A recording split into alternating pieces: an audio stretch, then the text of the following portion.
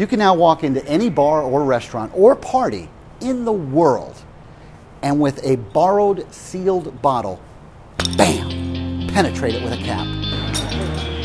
What the? Are you serious? That's a beautiful thing.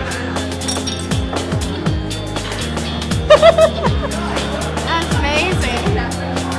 Yeah, he done messed me up, man.